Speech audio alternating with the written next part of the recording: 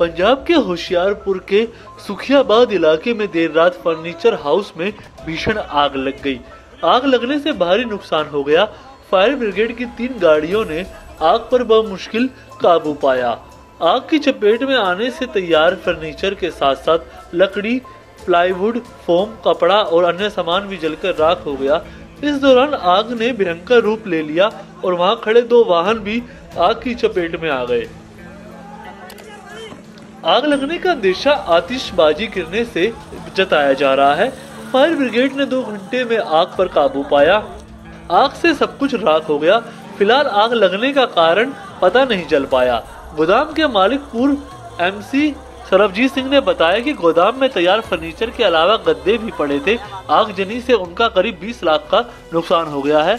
वहीं मौके पर मौजूद लोगों का कहना था कि गोदाम में पटाखे की चिंगारी गिरी थी।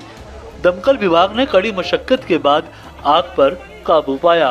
Video desk Amar Ujala dot com. Download करें अमर उजाला ऐप और पाएँ खबरें लगातार। अगर आप ये वीडियो YouTube पर देख रहे हैं तो हमारे चैनल को सब्सक्राइब करें और बेल आइकन को दबाना ना भूलें। अगर आप Facebook पर यह वीडियो देख रहे हैं तो हमारे पेज को लाइक करें।